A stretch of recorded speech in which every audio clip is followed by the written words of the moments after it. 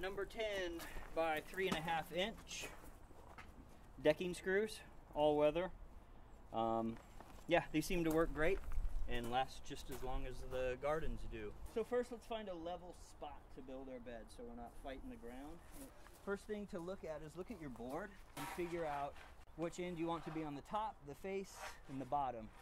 So if there's any rough edges, any nasty spots, I try and put them inside and on the bottom, just so they look pretty.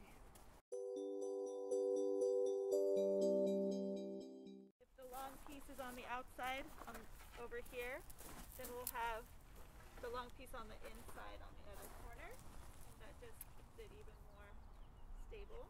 And I like to start the screws first.